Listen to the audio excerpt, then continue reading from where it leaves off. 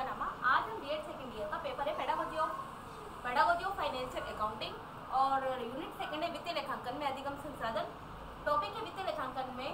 वित्तीय लेखांकन के लिए सामुदायिक संसाधनों का उपयोग करना। जिसमें से हमने चार उपयोग पढ़ लिए थे। प्रशासकीय संस्थाएँ पढ़ ली थी सार्वजनिक सेवाएँ एवं संस्थाएँ पढ़ लिया था।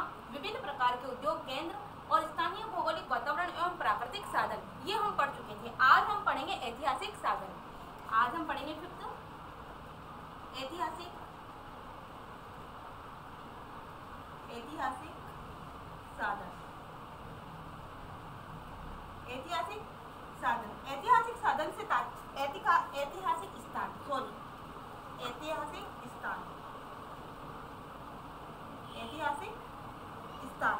ऐतिहासिक स्थान से तात्पर्य, जहाँ विद्यालय स्थित है, जहाँ विद्यालय स्थित है, यदि उसी क्षेत्र विशेष में कोई ऐतिहासिक स्थान है उसी विशेष में कोई ऐतिहासिक इमारत है, ऐतिहासिक स्थान है तो छात्रों को उसे अवश्य दिखाना चाहिए। छात्रों को आवश्यक रूप से उस ऐतिहासिक स्थान को दिखाना चाहिए। यानी कि जिस स्थान पर विद्यालय है और उसी स्थान पर कोई ऐतिहासिक इमारत है तो छात्रों का, छात्रों को उस ऐतिहासिक इमारत का, उस ऐतिहासिक स्थान का अवलोकन और निरीक्षण अवश्य करवाना चाहिए। इस प्रकार प्रत्यक्ष से दिया हुआ ज्ञान, यानी कि उस बारे में, उस ऐतिहासिक इमारत के बारे में जो ज्ञान प्रत्यक्ष रूप से दिया जाएगा, जो ज्ञान प्रत्यक्ष रूप से दिया जाएगा, वो बालकों के मस्तिष्क में स्थायी रहेगा। यानी कि जो जो ज्ञान वो किसी ऐतिहासिक स्थल को देखकर प्राप्त करते हैं प्रत्यक्ष रूप में तो वो ज्ञान बालकों के दिमाग में स्थायी रूप से स्थित रहता है।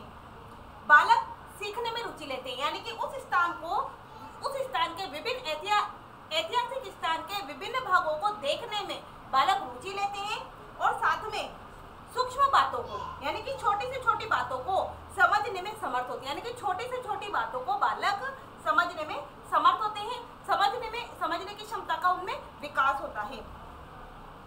इसके अतिरिक्त बालकों का, इसके अतिरिक्त बालकों को इस बात का भी ज्ञान होता है कि उनके स्थानीय क्षेत्र में राष्ट्रीय, उनके स्थानीय क्षेत्र ने राष्ट्रीय इतिहास के लिए क्या योग, क्या क्या देन प्रदान किए? कहने का मतलब है कि उनके जो बालकों को बालकों की रुचि जागृत होती है, बाल बालक की क्षमता विकसित तो होती है, लेकिन साथ में बालकों को इस बात का भी ज्ञान होता है या इस इस ज्ञान से भी बालक रूबरू हो जाते हैं कि उस उनके स्थानीय क्षेत्र में राष्ट्रीय इतिहास के लिए उनके स्थानीय क्षेत्र में राष्ट्रीय इतिहास के लिए किस प्रकार की देन प्रदान की गई है, किस प्रकार की देन, यानी किस प्रकार की देन ऐतिहासिक स्थान के रूप में, ऐतिहासिक इमारत के रूप में उनके स्थानीय क्षेत्र विशेष में है।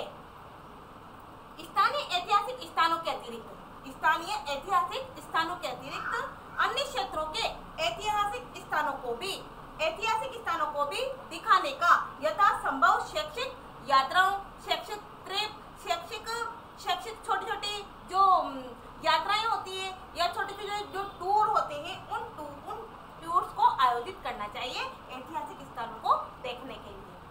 नेक्स्ट है संग्रहालय। सिक्स है। सिक्स संग्रहालय। संग्रहालय। सिक्स पॉइंट है संग्रहालय। संग्रहालय से तात्पर्य ऐसी, ऐसा स्थान जहाँ पर पुरानी चीज़ें, पुरातात्विक चीज़ें, पुरातात्विक चीज़ों को संग्रह करके, इकट्ठा करके रखा जाता है यानी कि पुरानी चीज़ों को संग्रह करके और उसकी उसकी, उसके इतिहास को बताने के लिए, उसके इतिहास को जानने के लिए उसका संग्रह करके रखा जाता है। तो संग्रहालय से तात्पर्य, संग्रहालय में समाज के, संग्रहालय में समाज के अतीत का एवं वर्तमान का, संग्रहालय में समाज के अतीत एवं वर्तमान का प्रत्यक्ष दिग्दर्शन होता है। संग्रहालय में समाज के समाज के अतीत का और समाज के वर्तमान का समाज के अतीत और समाज के वर्तमान का प्रत्यक्ष रूप से दिग्दर्शन होता है प्रत्यक्ष रूप से हम उन चीज़ों को देखते हैं संग्रहालय में छात्रों को छात्रों को समाज के बदलते हुए छात्रों को समाज के बदलते हुए स्वरूप से परिचित करवाने के छात्रों को समाज का जो स्वरूप बदल रहा है, जो बदलता हुआ स्वरूप है उससे परिचित करवाने के लिए, उसका ज्ञान प्रदान करने के लिए संग्रहालय का निरीक्षण करवाना चाहिए। किसका निरीक्षण करवाना चाहिए? संग्रहालय का निरीक्षण करवाना चाहिए ताकि छात्र समाज की वर्तमान और अतीत अतीत दोनों को, दोनों का प्रत्यक्ष रूप से दर्शन कर सके, दोनों को प्रत्यक्ष रूप से समझ सके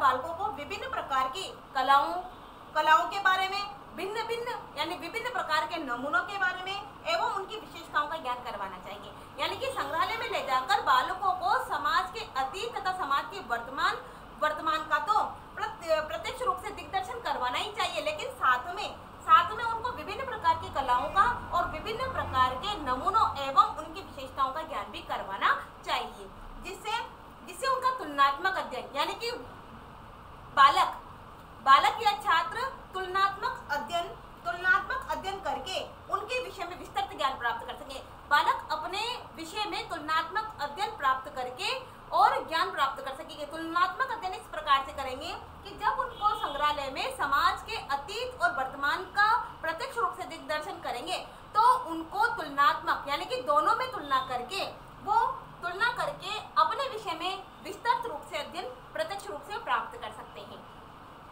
साथ में निरीक्षण से बालकों का यानी कि संग्रहालय का निरीक्षण करने से बालकों में अपने राष्ट्र की श्रेष्ठतम कलाकृतियों का यानी कि अपने राष्ट्र में कौन सी श्रेष्ठतम कलाकृतियाँ हैं एवं महत्वपूर्ण वस्तुएँ हैं इसका भी गौरव गौरव की भावना उनमें उत्पन्न होती है यानी कि संग्रहालय में वो जब कलाकृतियाँ देखते हैं या अपने राष्ट्र की श्रेष्ठतम कलाकृतियों को और अन्य महत्वपूर्ण महत्वपूर्ण वस्तुओं को देखते हैं तो वो अपने आप में गौरव की भावना बालकों में उत्पन्न होती है कि मेरे मेरे समाज में या मेरे राष्ट्र में इस प्रकार के संग्रहालय में ऐसी वस्तुएँ रखी हुई है जो देखने लायक है नेक्स्ट है एट सेवन है सेवन है सामाजिक संस्थाएँ सामाजिक संस्थाएँ। सामाजिक संस्थाएँ।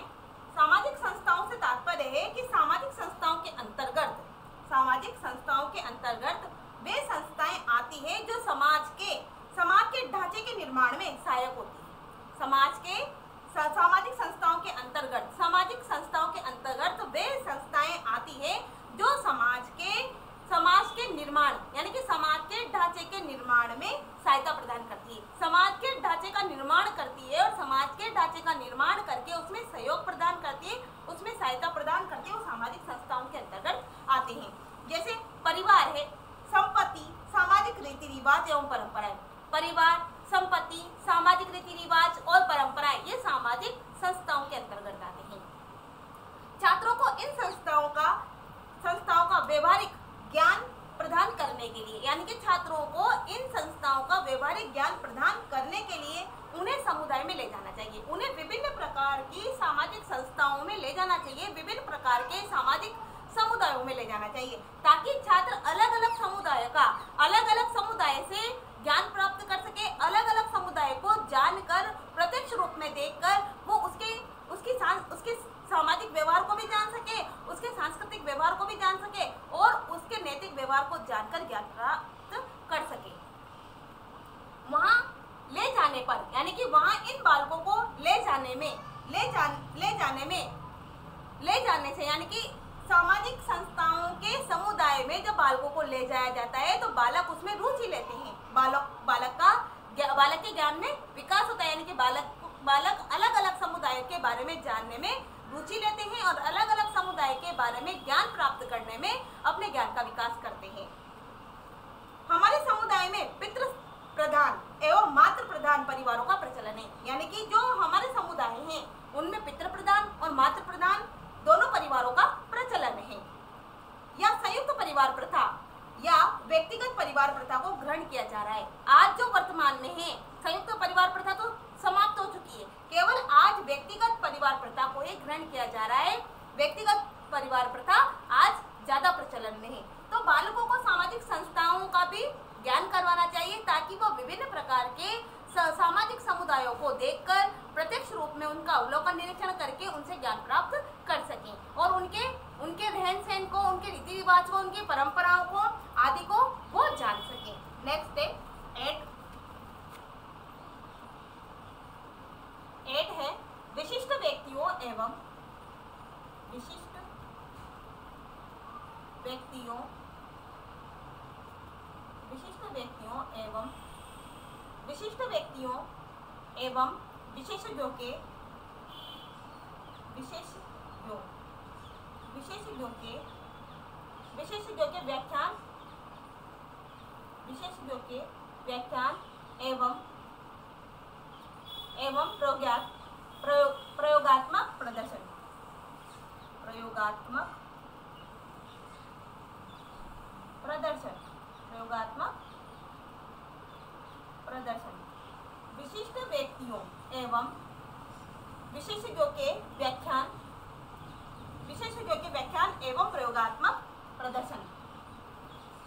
विशिष्ट व्यक्तियों एवं विशेषज्ञों के व्याख्यान एवं प्रयोगात्मक प्रदर्शन से तात्पर्य कि समाज के आदर्शों, समाज के सिद्धांतों एवं विचारधाराओं से अवगत करवाने के लिए, समाज के आदर्शों से, समाज के सिद्धांतों से, समाज की विचारधाराओं से छात्रों को अवगत कराने के लिए विशिष्ट व्यक्तियों एवं विशिष्ट जननायकों विशिष्ट व्यक्तियों एवं विशिष्ट जननायकों के व्याख्यान सुनने के अवसर, व्याख्यान सुनने के अवसर प्रदान किए जाते हैं। व्यक्तियों को कहने का मतलब है कि सामाजिक आदर्शों को, सिद्धांतों को और विचारधाराओं को छात्रों को अवगत करवाने के लिए विशिष्ट व्यक्तियों एवं विशेषज्ञों के व्याख्यान सुनने के अवसर प्रदान किए जाएँ। साथ में विशिष्ट वैज्ञानिकों एवं कलाकारों, विशिष्ट वैज्ञानिकों एवं विशिष्ट कलाकारों के प्रयोगात्मक प्रदर्शन द्वारा, विशिष्ट वैज्ञानिकों एवं कलाकारों के प्रयोगात्मक प्रदर्शन द्वारा विद्यार्थियों के ज्ञान को सारगर्भित बनाया जाए। यानी कि विद्यार्थियों के ज्ञान को सारगर, सारगर्भित बनाने के लिए विद्यार्थियों के ज्ञान को, ज्ञान का, ज्ञान को विकसित करने के लिए और वैज्ञानिकों से परिचित होने के लिए वैज्ञानिकों के वैज्ञानिकों के, वैज्ञानिकों और कलाकारों के प्रयोगात्मक प्रदर्शन को जानने के लिए छात्रों को विशिष्ट व्यक्तियों एवं विशेषज्ञों के व्याख्यान का प्रयोगात्मक प्रदर्शन करने के लिए उनको प्रत्यक्ष रूप से ज्ञान प्रदान करना चाहिए। उनको उनको व्याख्यान के अवसर देने चाहिए।